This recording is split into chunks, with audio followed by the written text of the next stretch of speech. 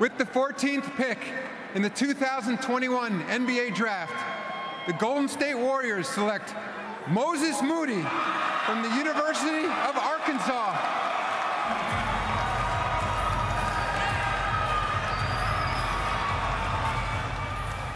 See the hugs with mom, Rona, dad Kareem. His favorite memory was his dad teaching him to shoot. I love the pick, by the way, for the Warriors. I love this for Golden State, right? And my turn for him, disruptive move. Because while you have the Splash Brothers shooting from unlimited range, you're gonna need somebody that's six foot six. You see those long arms, that's seven foot one wingspan to be a lockdown defender. Yo, what's up? It's your boy GaTa from the hit show Dave on FX. Just want to give a special shout out to the 2021 NBA draft class. Congratulations, y'all did it. All that hard work y'all put in paid off. Soak it up, embrace the moment, man. Congratulations. I can't wait to watch y'all play all next year. You know what it is, man. It's your boy GaTa. Congratulations, y'all did it. Moody has used his word to promote social justice and inspire his classmates since he was a senior in high school. Before he averaged 17 points per game for Arkansas, Moody showed he's not just a basketball star.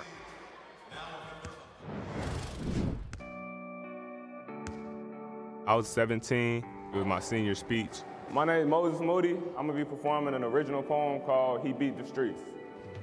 Started out talking about my uncle and, and the situation he went in. He was incarcerated for 18 years. Well, my uncle had the heart of a soldier, the aggression of a prize fighter, just no one taught him what to fight for. See, the system creates this illusion with lies and confusion. I really went around and hit a lot of different topics that a young black male goes through in his lifetime. But let me ask y'all a question. When you see me, what's your first impression? Are you willing to learn this lesson or are you distracted by my complexion? By the end, I had a happy ending of a kid that's been through it all and, uh, and conquered it. That young man left standing on his own two feet has done the impossible. He beat the streets. Thank you.